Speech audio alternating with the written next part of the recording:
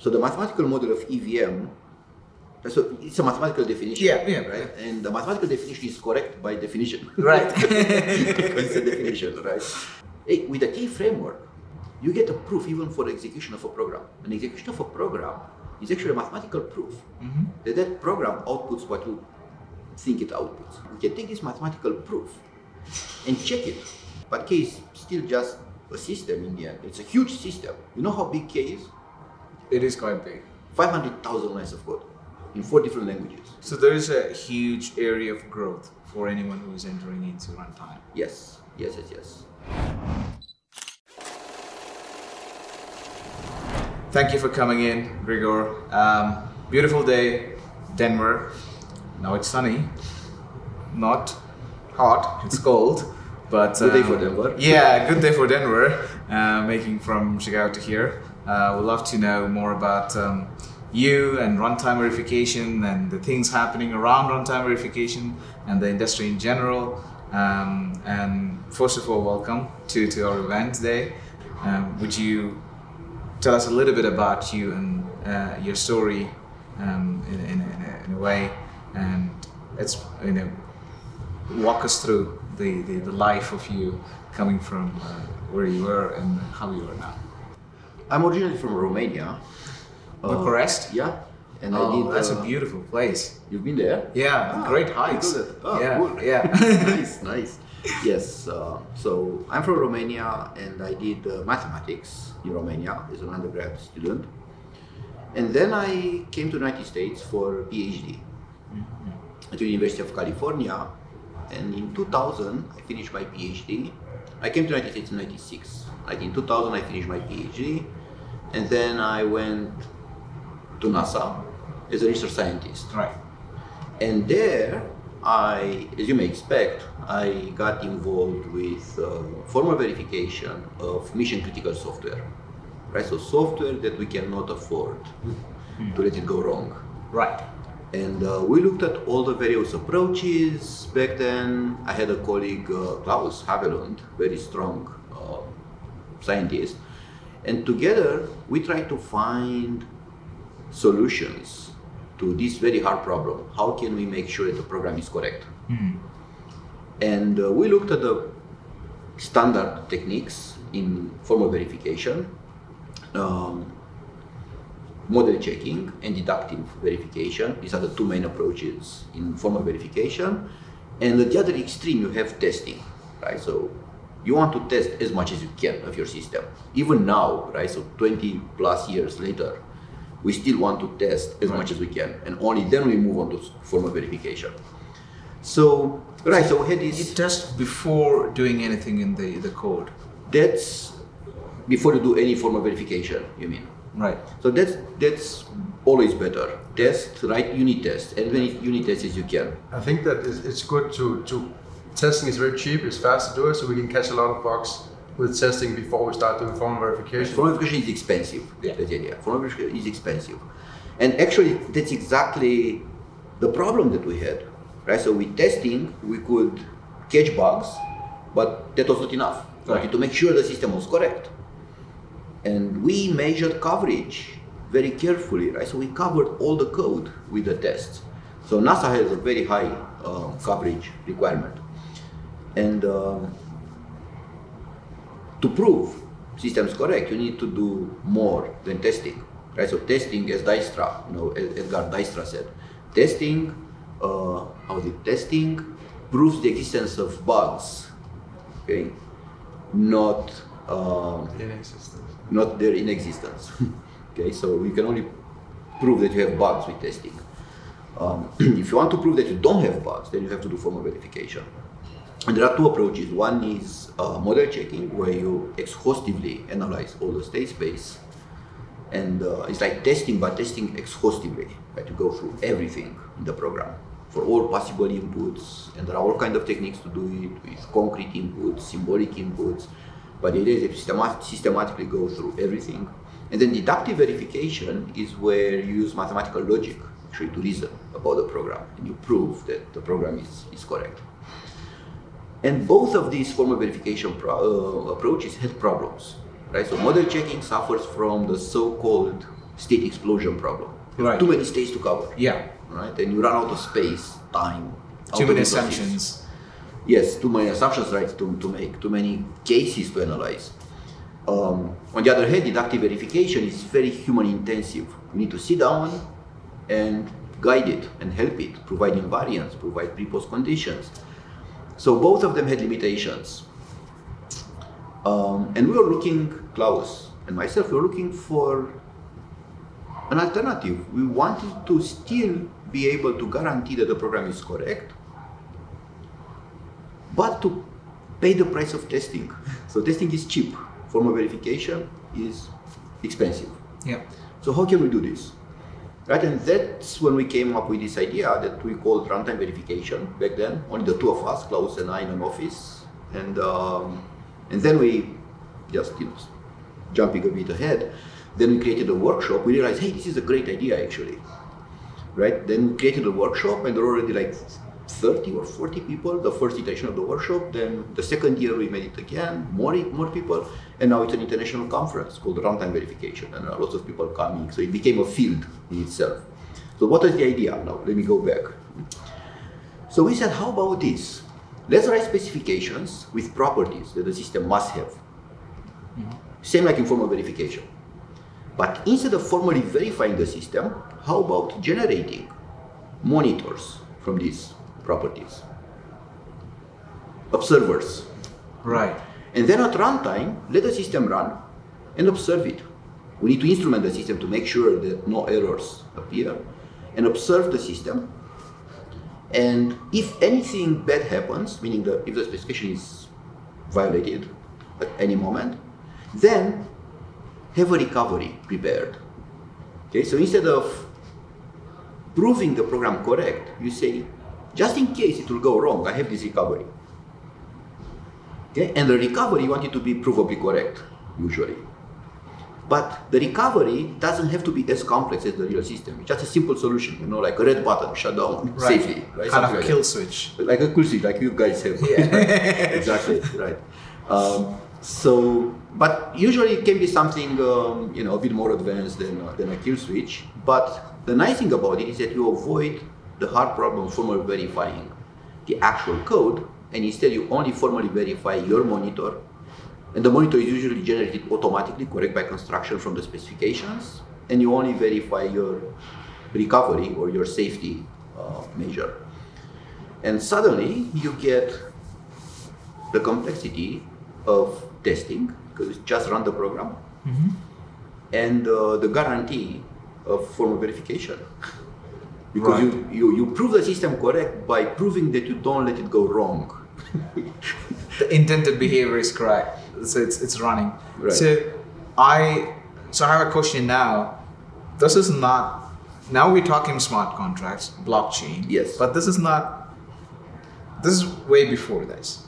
So what was the first applications or the industry that um, you know applied this kind of technique, uh, runtime? so uh, nasa obviously was Right, first yeah. but that, that that may not be openly available. But um, the mainstream. yes it was not openly available true uh, in 2002 i moved to university of illinois urbana-champaign where i'm a professor of computer Yeah. science even now uh, and in 2010 i started a company runtime verification basically to commercialize this uh, idea and this technology um, and um, yeah at the university once we started the company we continued to collaborate with nasa so nasa was our first Right. client even in the company klaus and i continued to collaborate um, and then out of nasa the second important client was toyota Oh, okay. in monitoring with runtime verification in cars because cars have a lot of software and lots of Right. things can go wrong in a car Of course. yeah, and then uh, Boeing was another client. We did the same um, with Boeing. Um, then NASA again, then Boeing again. So they were regular customers. Then Denso Japan, uh, tier one supplier for automotive domain. And then in 2017, we started looking into the blockchain space Right. So these companies actually apply the techniques for of safety critical systems. Not blockchain, but Yeah, but safety, the critical Safety. systems are Yes. actually working as it is intended to. work. yeah, yeah, exactly.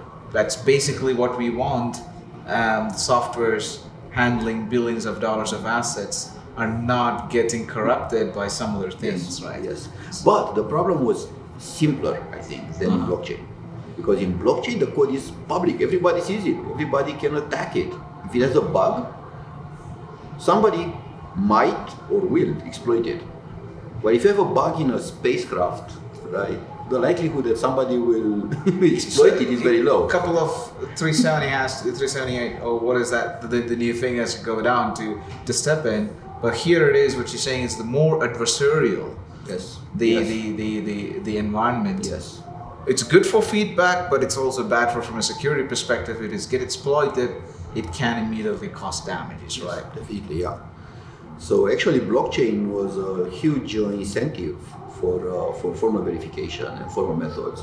So basically, I think it's revitalizing the domain, the formal verification domain. Suddenly, it became a critical domain for mainstream, because I think blockchain is or will be soon mainstream. Right.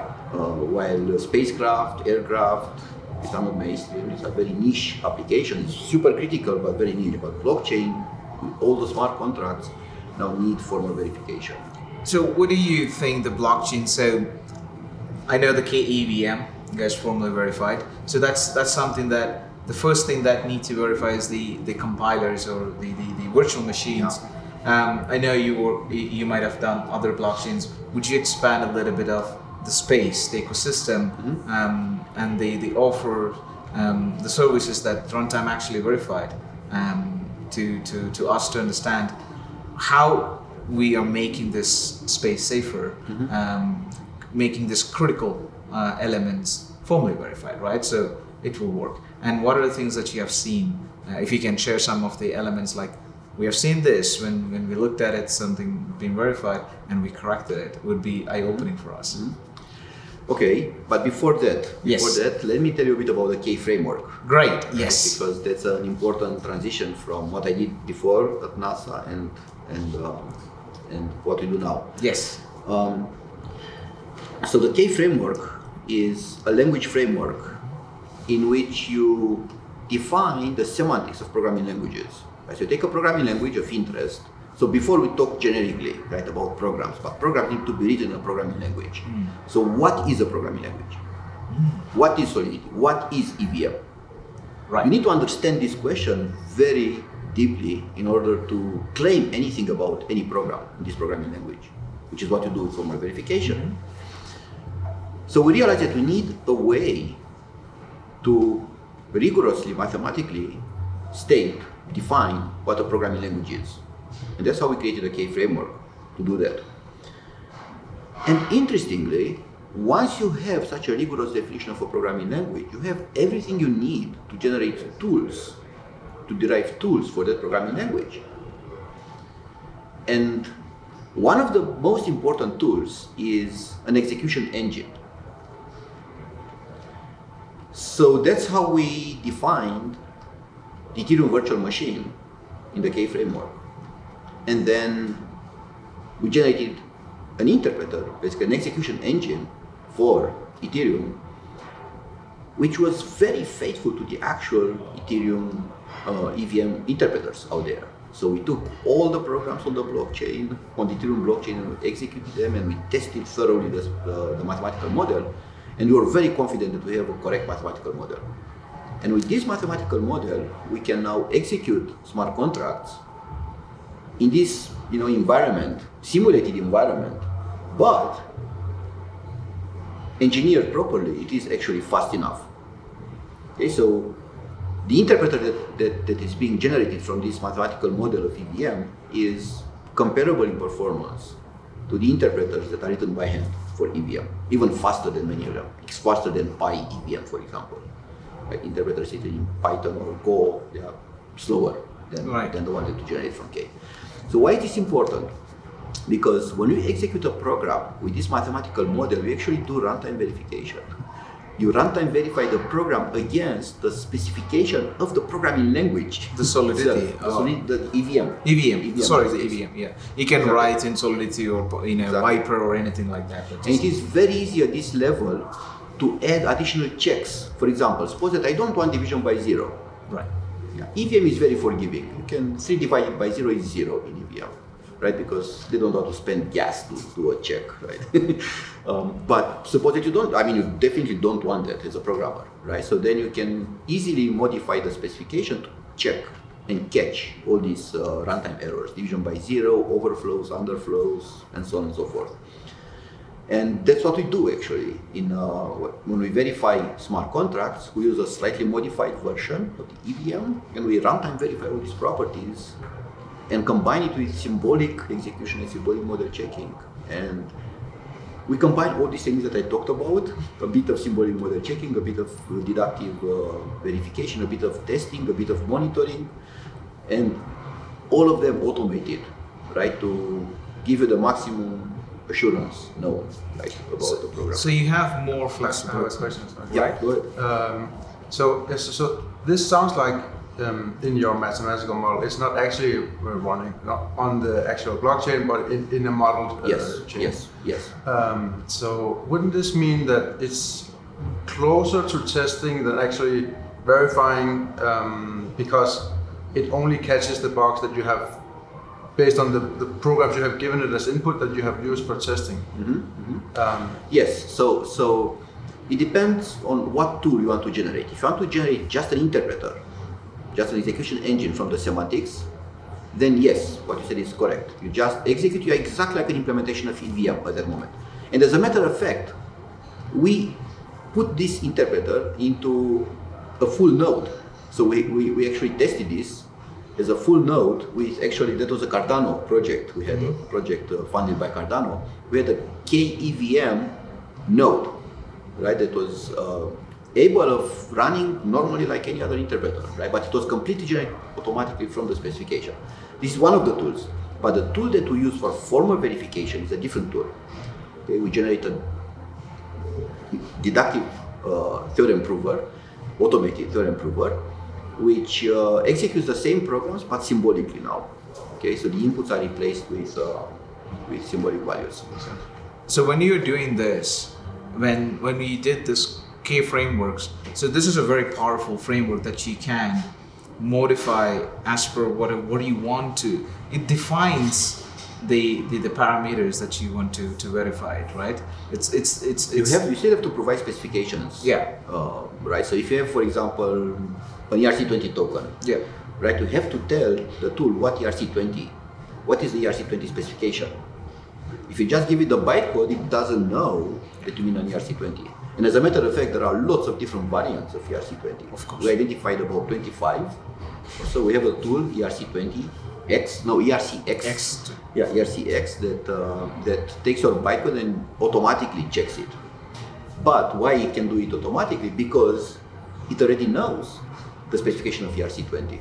So you write once and you can verify as many times. Yeah, exactly, exactly. That's- but it turned out that it is not as beautiful as we thought because there are so many different variants of ERC20. So we have like 25 or more, uh, I don't even know exactly how many, um, different, slightly different uh, ERC20 specifications, right? So when you take a bytecode, we run it and we say, okay, it's ERC20 number so, all, so 14. all the implementations have, have different semantics. Yeah, sometimes they have like whitelist, ad- whitelisted addresses, blacklisted addresses. You know, sometimes they have a fee, you know, for the transfer. Other times they don't. You know, different little things Yeah, okay. that, that matter. We also did the the um, verification of um, Ethereum deposit contract. Well, yeah, the first one was Uniswap. Right? Oh, so yeah, we were the okay. first to formalize the specification of Uniswap and then verify the bytecode using this technique that I mentioned. Right? So we proved Uniswap correct. And actually we found bugs. We found bugs. I know, I know it sounds a bit pessimistic, but we found bugs in every single smart contract that we formally verified. Not all of them are critical necessarily, but they might become critical in certain conditions. You don't want to allow them. Catching them early as possible is, is always Yes, catching them with testing is best, right? So write your best tests. This brings me to Foundry. Um, you guys use Foundry, right? Strongly recommend it. Strongly recommend it. Um, Foundry allows you to write specifications. Truly, you write tests, unit tests, but they are parametric. They're also called property tests, and they are truly specifications. Um, some people think that they are still tests, but specifications are also very similar. Uh, you have uh, some symbolic inputs in what you assume, then you have your code, and then you have some symbolic outputs, like using the same variables in what you expect at the end. And this is exactly what uh, you know unit test, parametric unit test is in Foundry. So we, we now connected the K framework with the KEVM semantics to Foundry, and you can run all these tests that you write in Foundry. You can run them through the mathematical model and prove them correct. So with Foundry, you start with normal tests, concrete tests, test as much as you can concrete inputs, and at some moment you can go one level higher and say, hmm, maybe this input can be symbolic instead of uh, you know transfer of 20. How about transfer of v value v, some arbitrary value, and assume something about v, then run it, and then at the end assert. And Foundry has a tool that uh, gener- generates, generates lots of random uh, instances of these values. And um, you can, for example, from one test, one parametric test, you can generate like 10,000 different concrete tests. And those have a high chance, they are generated very intelligently. There is a chance, a good chance to catch bugs by just generating random tests. But it's still testing. You do not have an absolute guarantee that it is correct. However, now if you run exactly the same test, you don't have to touch a line of code in your testing or in your code that you test. You simply run the same parametric test with KEVM. There is just a button. Instead of running Forge, you have another button you push, and uh, that will run the test symbolically, and voila, you now prove them correct. Instead of testing thoroughly, fuzzing the property, now you actually formally verify it. So how computationally intensive is this? It is computationally intensive, more computationally intensive than than uh, than generating tests. But at some moment there is, you know, threshold. so if you want to generate, for example, more than twenty-five thousand tests, then it may be slower than actually verifying. Right. Verifying the test is pretty much linear in the number of symbolic behaviors in your uh, in your code. Um, and there are parameters you can use to tune it, say how deep you want to go. Uh, but think of it is slow but a constant factor compared to the size of your program. While if you test, now you pay the cost for as many tests as you generate. Right? So if you generate like a million tests, it will take definitely longer than proving the thing correct. The problem with verification is that sometimes it may not succeed automatically. And I think that could be a problem you're running into uh, right now, and then you need to help it. Need a bit of expertise, right? How to, you may need to add an, another assumption. You may need to split the property into sub-properties, prove them separately. Um, there is, requires a bit of engineering, but all these are good to have because they force you to think about your code that you test and you find issues. So, having said that, we are currently in a time that everything needs to be can be proven and can be shrinked into a proof using zk. Mm. But you know, but the zk proofs are very th- th- that's a very different field in terms of you cannot you can have not much subjectivity into mm-hmm. into zk. The boundaries are very well defined, right? That creative proofs. But what I'm interested in listening to you is like K framework brings this kind of more expressiveness, like everything that he can write and he can create this proof. And he said the EVM has been well defined. Mm-hmm. Everything in the EVM, Yeah. and he have this kind of runtime monitoring and everything, right? Isn't it? Is it possible to create a proof of the EVM elements of the K and just give us a succinct proof somewhere?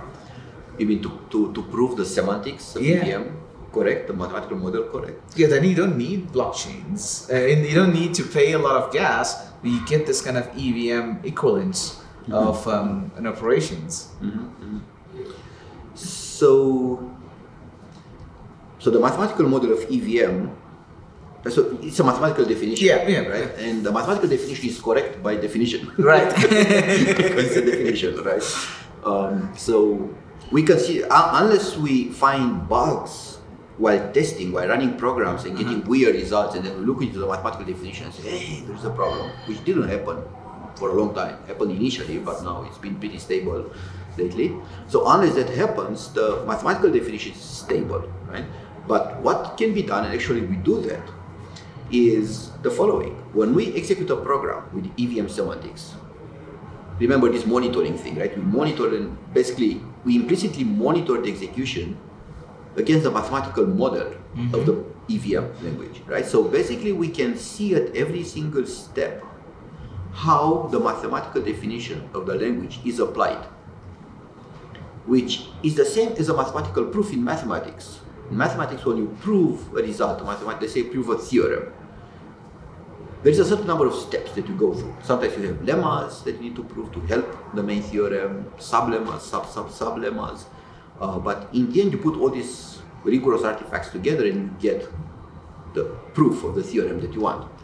Hey, with the K framework,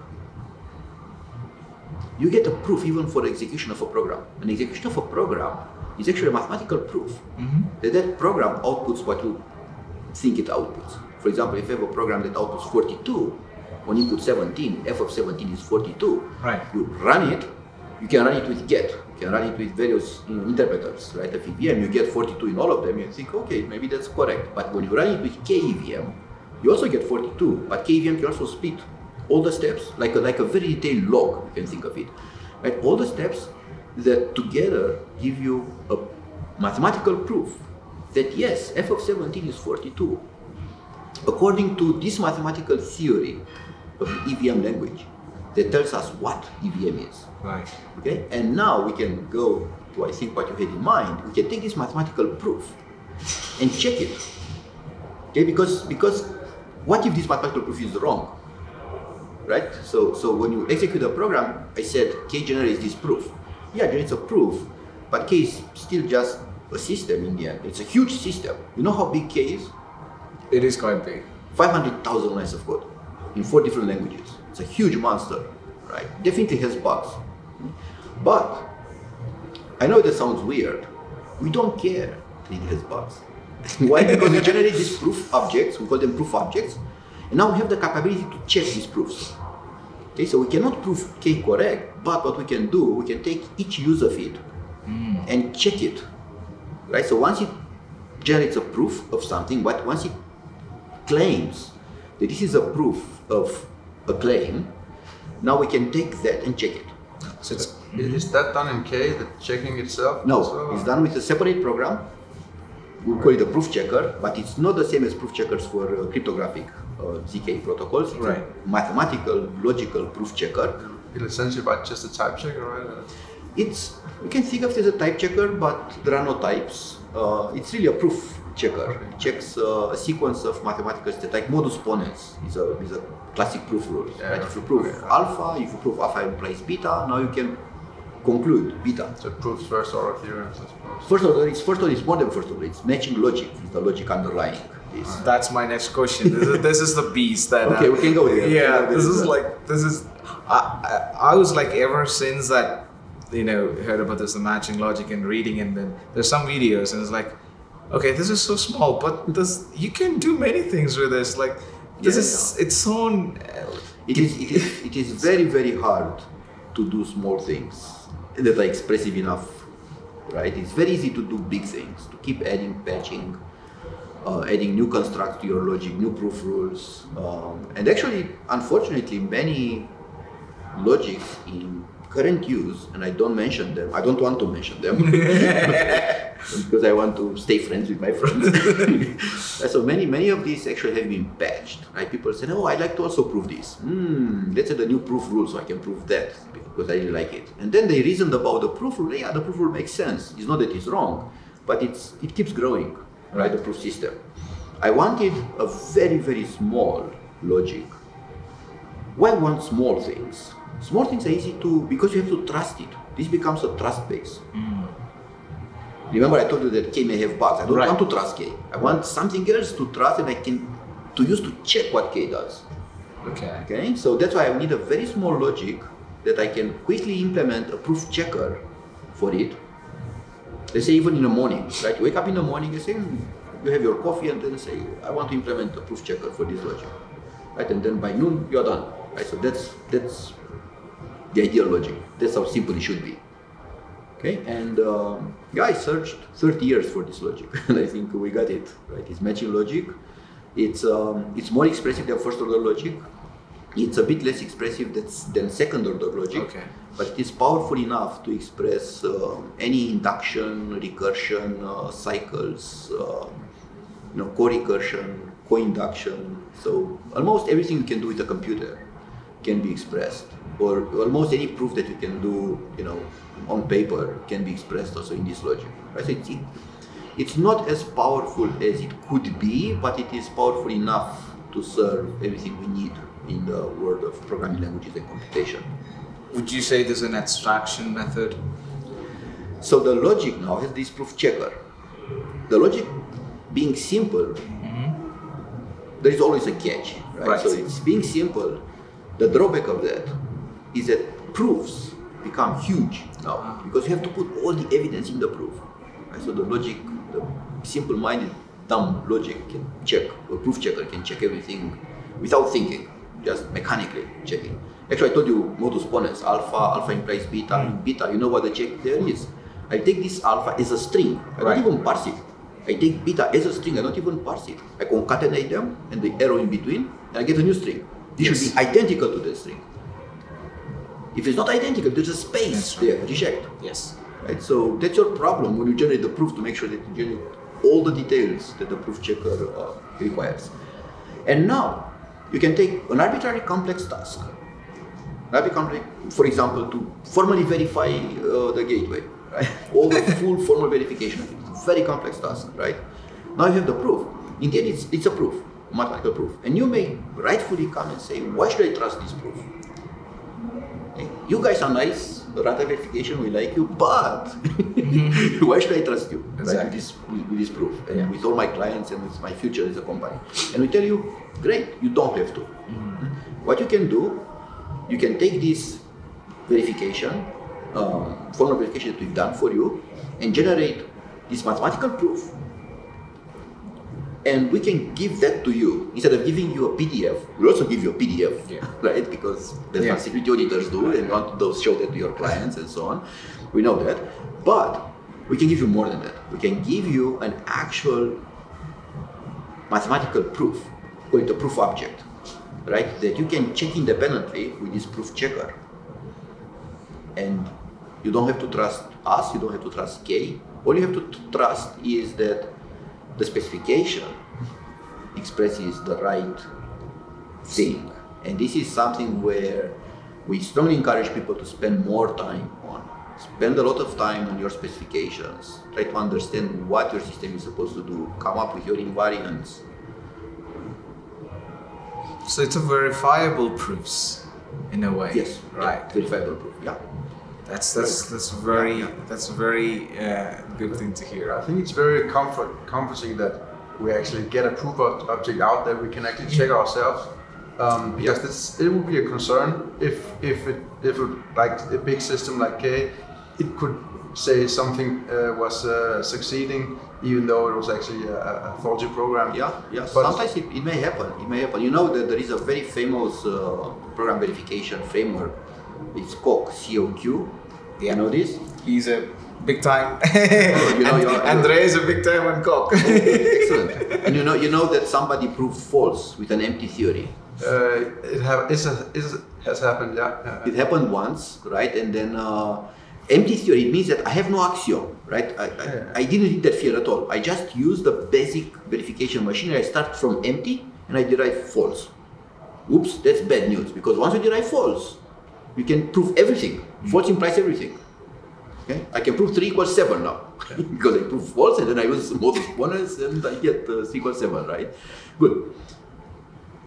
Um, and then they fixed the problem. They found the problem. There was something with you know lengths of, uh, of strings. They should be less than I don't know certain length, in memory, and so on. They fixed that, and then they proved again. Somebody proved again false. That's another issue. Right, But but what what is?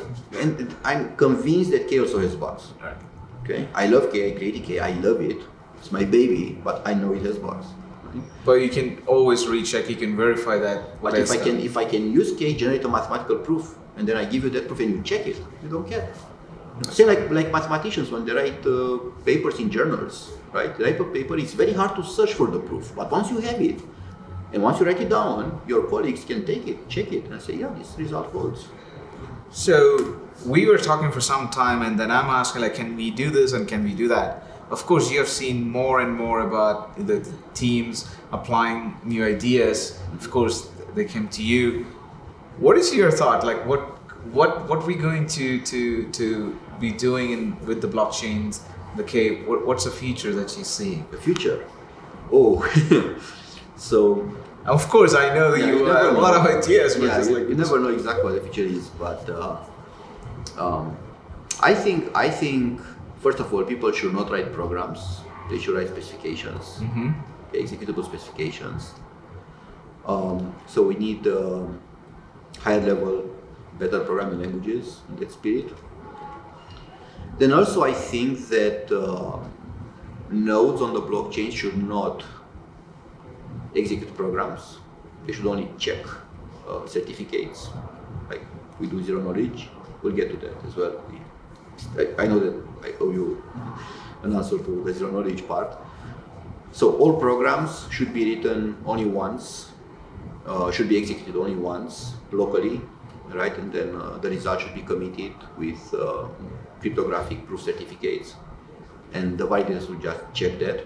There shouldn't be any duplication of execution, right? That's silly. Why do we why do we have to re-execute programs? You know, only because like, we don't trust each other, right? But if we generate these mathematical proofs, that the ultimate ultimate evidence that something has been done correctly.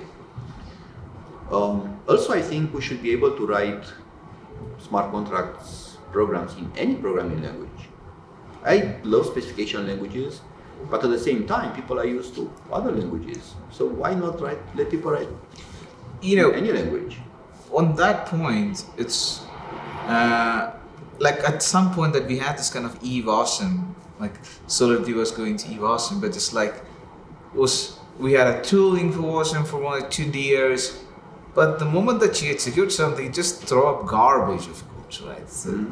so would it be possible, like when you say you can write in any other languages, would it be possible that the the grade of those languages could also be improved with some kind of verification process or getting the compilers done correctly? Um, I just put the washer because that was there, and Yes. it's easy to use. And you say like in all these toolings, it's a good good good argument for it to go for it, but mm-hmm. it just just wanted a lot of lines, of course, like for no Yes. reason. Yeah, yeah. Right, but on the other hand, if you execute it locally, you can mm. compress all that complexity. Right. Right. You just get the final result and the certificate. Yes, the final result is correct. Then you only need And that then- certificate. And then you pass the result around.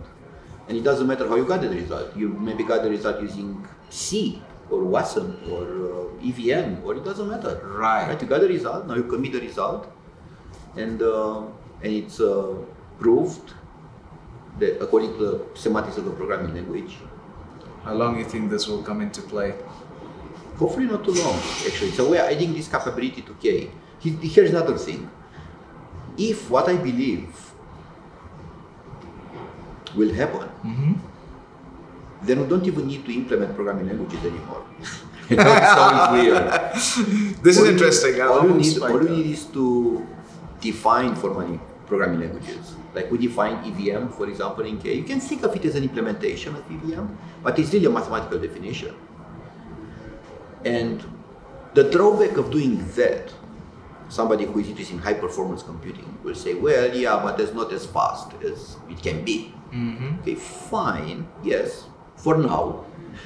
That always happened Yeah. right? So people used to write code like 50 years ago in assembly, right? And this crazy high-level complex language C appeared. See, and, everybody, and everybody said, "Oh, this language is never going to be as, as efficient. My programs will be slow like snails." Uh, no, no, I'm not going to write in this language. I'm still assembly, right? Who writes programs in assembly anymore, right? Because compilers are so good now, it's very hard to beat them. You have to be a super master in assembly to write programs faster than what GCC ge- generates from C, right? Also, just not feasible because unrolling loops and stuff like this is. There you go. Well, but compilers take advantage of architectures, you know, speculation, layers of cache, um, virtual pages, memory, and so on, right? You, keep, you get crazy if you try to do all that manually. I think the same will happen with, uh, with programming languages and compilers and uh, frameworks like K, for example, right? So K already generates interpreters which are faster than maybe I shouldn't say naive, but you know, a quickly written, hastily written interpreter. Right? So if you just take a programming language, say OCaml, right, or, or Haskell, and you write quickly an interpreter for your language in Haskell, there is a very good chance that the interpreter that K will generate will be faster than that one. Right? You have to be very good at writing interpreters now to beat an interpreter generated automatically by K. And now to get back to the question why I think we don't need to, to implement languages, not necessarily because K, I don't want to make that claim that K will be faster than the best interpreters anybody can write, because you know, in theory that cannot happen. You can always write manually something faster, specific to a particular language, right? But you don't need it because if I execute a program with K, let's say 10 times slower than the best possible implementation possible, right? I execute it locally and I generate this mathematical proof. Okay, and now we should go to the ZK part now. And okay, so suppose that I can compress this mathematical proof, okay. you know, in a cryptographic certificate, proof Right. certificate For that proof. for that particular proof. Right. Now I give you the result of the program that I executed locally plus that certificate, and you don't need to re-execute it. You see, and I never implemented the language to generate this certificate. I still didn't tell you how to generate the certificate. That's something we can and we should also discuss. But suppose that we have a mechanism to take this mathematical proof and generate from it a cryptographic proof. Maybe we should discuss it now actually. So that proof checker that, Right. that will check the that will take the big proof, mathematical proof. That can and should be snarked. Mm-hmm. Okay, so now that will actually generate cryptographic proof, basically snark, that this mathematical proof. This could be big. This could be This big. be huge. It's yeah. huge. Yeah. But but you'll get a cryptographic proof for the property that a proof, a mathematical proof exists that proves the claim that has been made. In particular, if I execute a program and I get this execution log, which is a mathematical proof, the proof checker will check that and give you a succinct certificate saying that, yeah, we can, we like to call that a proof of proof. Right. It's a cryptographic proof of a mathematical proof, which certifies the claim. It's kind of a recursive proof. So creating a, a large mathematical proofs, then you have proof, then you have a succinct proof of of, Of that. of that of that. Yeah. Yeah. If, if I wanted to check that this certificate was correct, would I then receive the mathematical proof object, or would I run the program and get the proof object, or what would be the procedure? So if you want to run the program, you can run it, right? But if I run it already and I generate this mathematical proof, which is huge, and then I generate the cryptographic certificate, that may take some time, some resources. And once I give you that, you don't really need to rerun the program. Because that's what happens now. Now we rerun the program in all the nodes, all the validators to confirm the result. Uh, so the validators they would check the proof to confirm the result, or, or they will They will check the cryptographic proof the, the, the cryptographic proof. Yes. So that's why I'm saying that. I think in my mind, the future blockchains will not even have VMs. So would would the proof be stored on the chain, or is it just This is another interesting aspect. That's another problem I think with the current blockchains. Right? All these security audits, all these um, claims of correctness of protocols, like why is a token on ERC20? Multi ERC20 somewhere. right. But it should- Multi-chain E ERC20. Multi-chain ERC20, right? So, so if somebody claims that hey, this is uh, this code is on ERC20, okay, and um, Runtime verification audited it, right? What does that really mean? It means that Runtime verification spent some time uh, and gave you a PDF file, and that PDF file explains why runtime verification thinks the protocol is correct.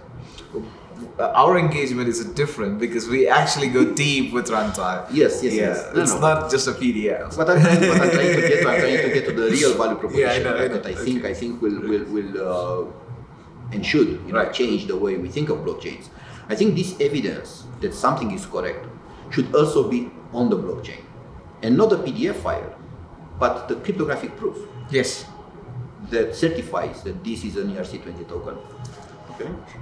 it's it's very connecting. The reason I say that when I think it's uh, Celo, they want to do this light client for the mobile because you cannot just basically give a node for running payments in, uh, in uh, I think in South America. We ac- I think they use the BW6 curve or something. They can you can actually make use a curve to to make another curve inside and then prove it. And they made this kind of um, uh, it wasn't perfect anyway. I mean, it's like it's like two years ago. But the approach is almost same that you create a proof of an EVM um, and a certain EVM execution, so you can actually make the payments faster rather than you know calling a blockchain with a proof. Then you, can, you can do it. So, So it's, the it's like can a- be very light. Yeah. You only need you only need a consensus layer. That's it. No, in, in the blockchain, you don't need the computational layer anymore.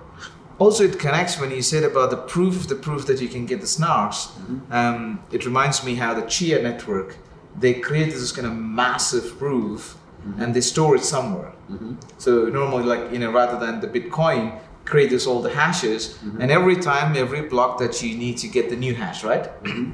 That's an intensive amount of energy that we're wasting. So what they created is like create a huge hash, a proof of work, mm-hmm. create it, mm-hmm. and then to create it like it for some time, mm-hmm. and then make a proof and store it somewhere.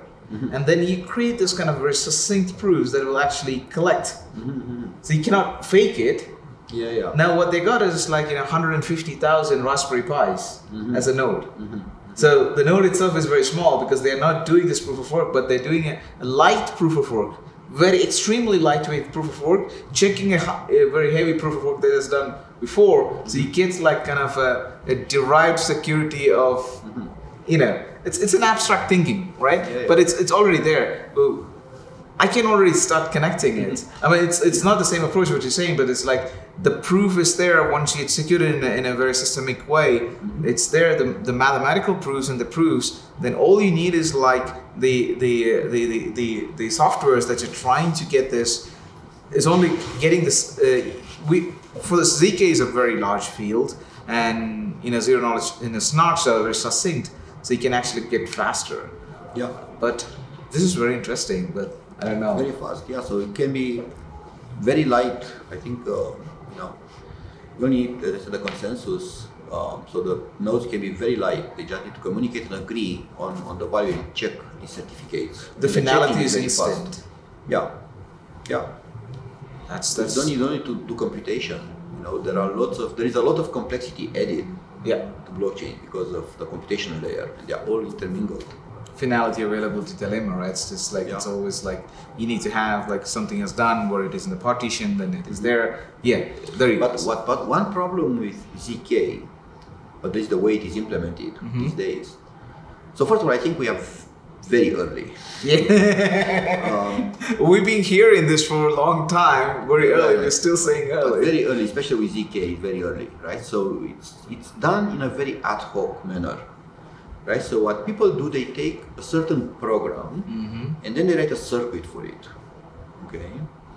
And more often than not, they just claim that the circuit implements this program, right? So, for example, the program may be written in Python and may implement some machine learning something, right? And then they implement a circuit, having the program more like the algorithm in mind when they design this. They don't take into account the semantics of the programming language or anything like that, that's way too low level. Mm-hmm. And then they come up with a circuit and they say, hey, this circuit implements this.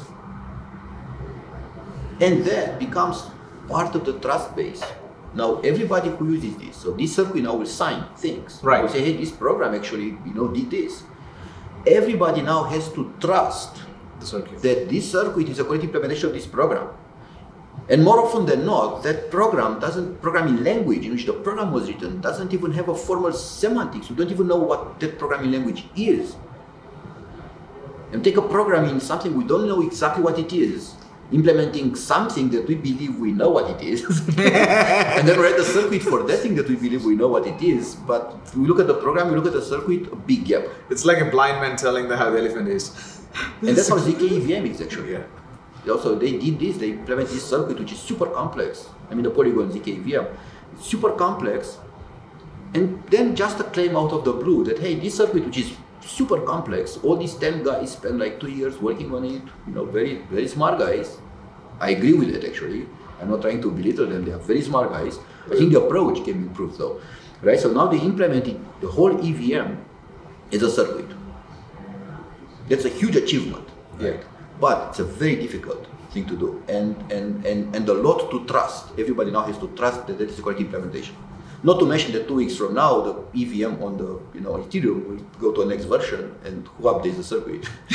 right, so circuit will, there will be a gap. Auditing a, auditing a circuit is an art. An auditor told me it's not my word. Like it's it's not a science. That it's an art. Why? Because nobody knows how to do it correctly. Yeah, yeah, right. so that's actually. But so let me, let me tell you how I think it should be done. Right. So we should still have a circuit, Uh huh. but only one circuit. I know it sounds strange. Only one circuit for only one program. Okay. You know what program? I'm talking Yeah. about the proof checker. Remember the proof checker here? Ah. The mathematical proof checker, Right. right? And now I separate concerns. I execute the program with the semantics and I observe it, right? All the steps, mathematical proof, and I check it with this proof checker and I check that everything is all right in the computation. And now, with the snarked version, the circuit corresponding to the proof checker, now I generate a cryptographic proof. I achieve the same result as with the circuit corresponding to the VM itself Right. without doing that. So instead of instead of implementing a circuit for I don't know how many hundreds, thousands of lines of code, uh, you know, we have in the EVM, right? So instead of implementing a circuit for that complicated, big program, the EVM interpreter, instead of that, we implement a circuit only for this proof checker, which has, you know how big the proof checker is? No. 240 lines of code. 240 lines of code. That's, it. That's it. Yep. it has, has it, it's a case statement, it's a loop with a case taking each step, a case statement with 15 cases. Each case is a proof rule, like modus ponens that we discussed before. Right? Check modus ponens. Check, you know. So it's substitution, already succinct in a way. It's, super succinct. No, no, the, the, the program is succinct, but the, the, proof the, is the proof is big. It's, Right. it's, But but but we want succinct programs to generate circuits for for two reasons, right? First of all, because you have high confidence in the correctness of your circuit, okay, and second, because uh, the circuit will be simpler, right, and faster that way. But we still have to deal with this big input, right? And uh, we have a prototype. We are playing with it. Hopefully, you know, soon we can uh, launch a product based on that. Now I have a fun question. Everyone talks about cryptography was going to break with the quantum computing. We don't know the blockchain will work as it is with the quantum computing. So, what do you think about the quantum I, computing? I don't know. I'm not that far. Uh, no, I don't know, to be honest. I don't know that. I know that there are, you know, very, you know, prominent researchers uh, looking at, you know, techniques, how to, you know, how to make cryptographic techniques work correctly, even in the presence of quantum computing. Uh, but I'm not one of those. Are we going to see anything in in uh, in, uh, in our mainstream life in the next a decade or so? Don't think so. I don't think we'll see anything coming from quantum computing that fast. But I know that that uh, I, I think Algorand, right? They they have a version of the algorithm where they prove that their algorithm is uh, is uh, safe with respect to quantum computing. Oh, we ca uh, the, the the proofs they're doing is not breakable with the quantum Something like that. Something Yeah. like that, yeah. Quantum Yeah, proofs. But I don't know. I don't, I don't know that. That's not my field. Hmm. Yeah, I don't know about quantum computing. So back to runtime. How big is the team now? 60 people. We are 60 people. You're Many of us logicians, mathematicians, uh, PhDs. yeah. and is it spread across everywhere? Is how is this? all over the world yes um, and then in terms of uh, you know projects and teams. Uh, we have auditors. Mhm. then we have uh, infrastructure developers product developers and tool developers right? So uh, we use our own tools like the k framework right to do audits. Um, and and one thing that i'm very proud actually in the team is that we found the balance right? How people can move around in the company depending on what they want to do. Yeah. and we find that many people want to start with when we hire them start as auditors because this way they learn the craft right? They learn what they need to do and they use the tools at the same time right? And then this way they discover limitations in the tools or limitations in the specification language or limitations in k itself. And then they say hmm, i'd like to work on that actually right? And then when they are done with this audit or maybe another one if they want to then they can move to a different team the teams are virtual to a different team and they work on this product or this specification language or this you know fix this or implement some automation in the k framework right? And then uh, when they are done with it, they may take like four, five, six months. You when they're done with it, they go back to auditors. Now use their own tool. Okay, and they feel really good about it, and then they want everybody to use their tool, right? And uh, and then they will go and teach the others how to use the tool. So basically, we have a very wide range of expertise in the in the company. Whenever you get stuck, you have a question, you go and ask somebody. Somebody will immediately, you know, help you with respect to the code base, which is huge, as I told you, but also with foundations. If you want to understand, hey, I, how can I generate a proof, you know, for this particular thing? Well, no, you should do it the other way around. So there is a huge area of growth for anyone who is entering into runtime. yes, yes, yes, yes. Yeah, definitely. And also all these tools, you know, everything we do, it may look like different things, you know, a bit of monitoring, a bit of specification of a programming language, um, you know, like, I don't know, pick a language for a blockchain, like we, did with Plutus, for example, for Cardano, you know, and then EVM on the other hand, and auditing, and um, symbolic model checkers, and deductive verifiers, and the ZK stuff. It may look like lots, all these things are different, and say that we cover all the space, we do all things all over the place. But in fact, all of them converge to the same vision. Right. That in the end, right, we can make claims. We, we develop the infrastructure that will allow a future in which people can make claims. And these claims can be claims of correctness of some code or claims of execution of the program. This program executed. I got 42 so claims, and these claims come with correctness certificates, check marks, which you check, and now you know that the claim is true for good. Right? So that can be used in lots of different applications.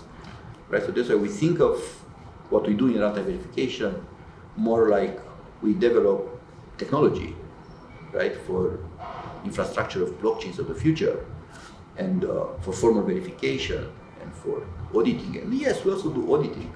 Sometimes we find it a bit unfair when people say that, hey, runtime verification, the best auditors, the best security auditors, or um, you know the first ones who use formal verification on the blockchain, the first who verified Uniswap. Yes, all those things are true, but there is so much more going on. it's not just auditing, right? We do auditing because that's there.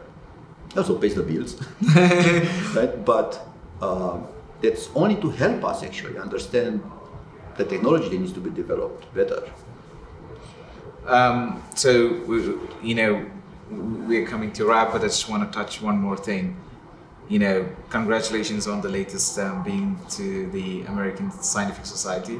So Oh, thank you. right, Thank you. So that's, that's great.